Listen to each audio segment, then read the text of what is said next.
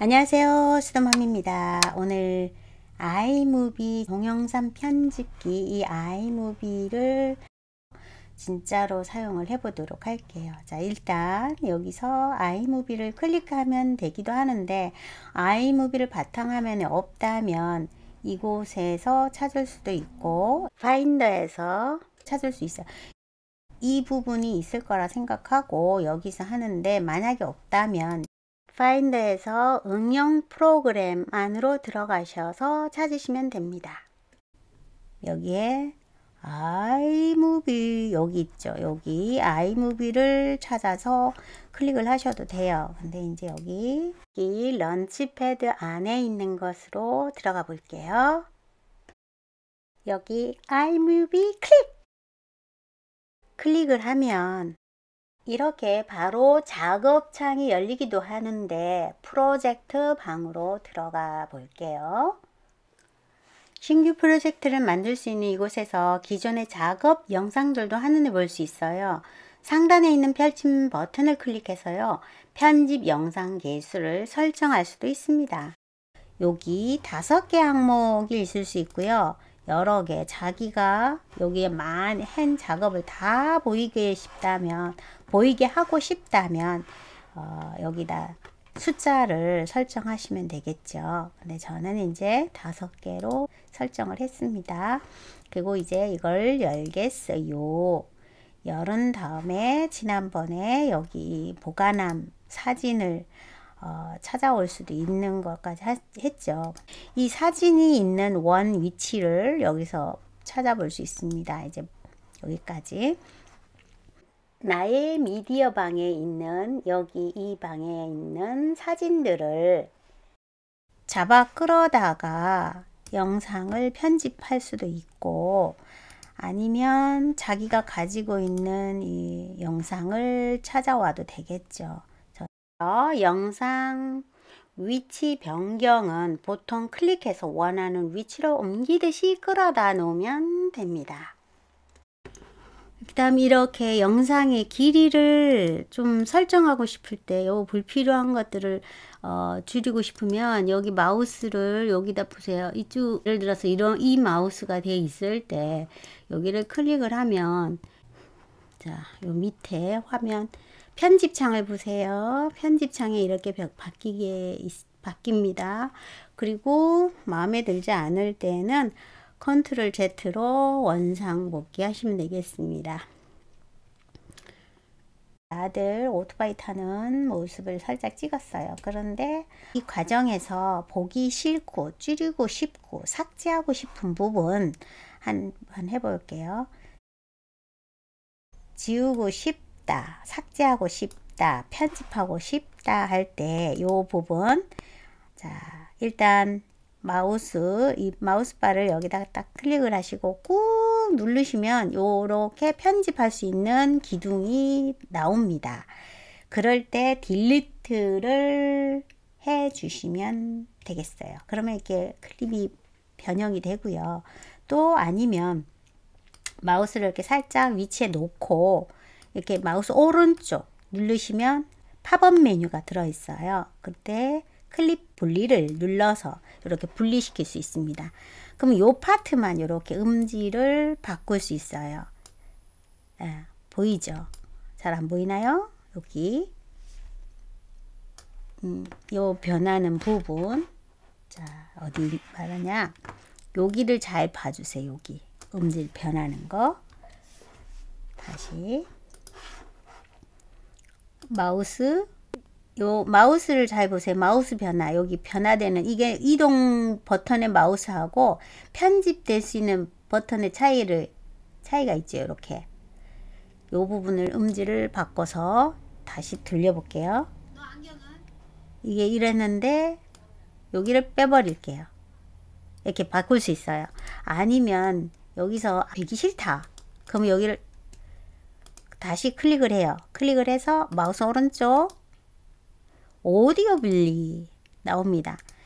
여기서 클릭을 하고 delete를 딱 눌러버리면 사라지게 되죠.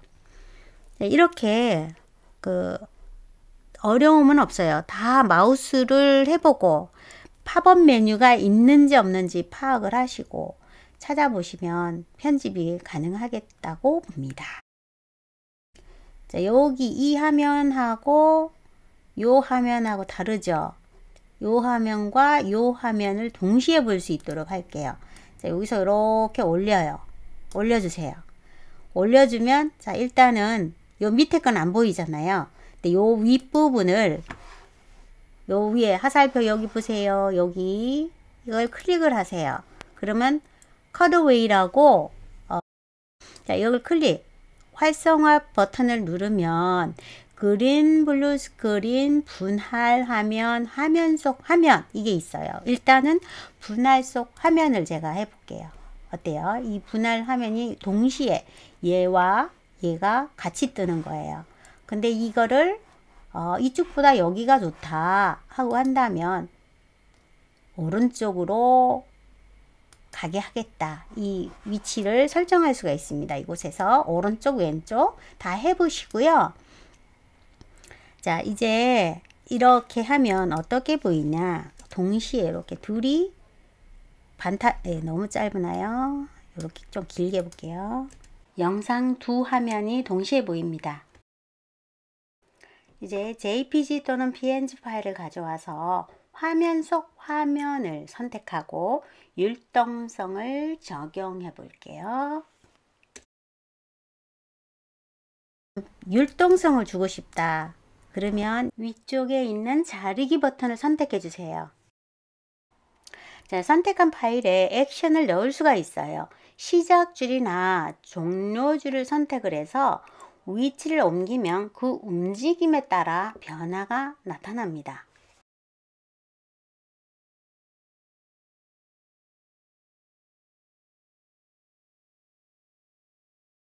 가위는 요게 지금 생명이니까 요 부분을 확대를 그러니까 집중적으로 보여지게끔 옮기, 옮겨 볼게요.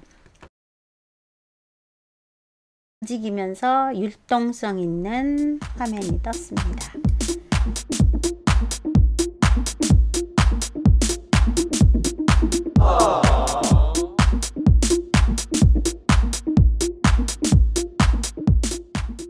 green blue screen 활용법입니다. 지금은 아래쪽 풍경 영상이 안 보이죠? green blue screen을 적용을 하면 아래쪽 영상과 쓰더맘 구독 버튼이 동시에 보여지게 됩니다. 그걸 한번 같이 해봐요. 파란이나 초록 화면이 있어야 green blue screen이 잘 적용이 되고요. green screen 위치는 영상 위쪽에 놓고요. 영상 위치 변경은 보통 클릭해서 원하는 위치로 옮기듯이 끌어다 놓으면 됩니다.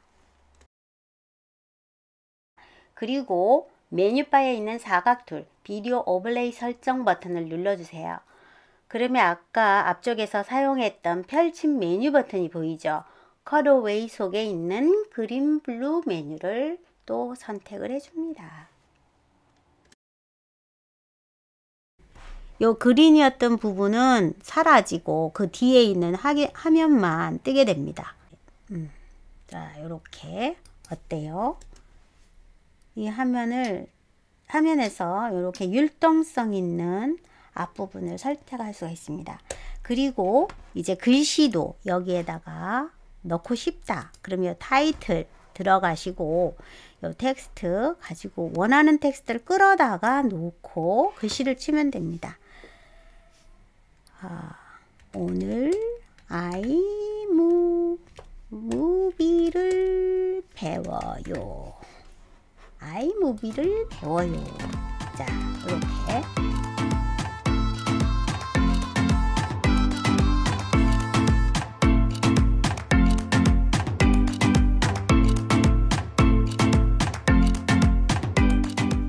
뭐든지 처음 접하면 복잡하고 어려워 보이지만 하나하나 적용해보면 생각보다 어렵지 않다는 거 금방 아실 거예요.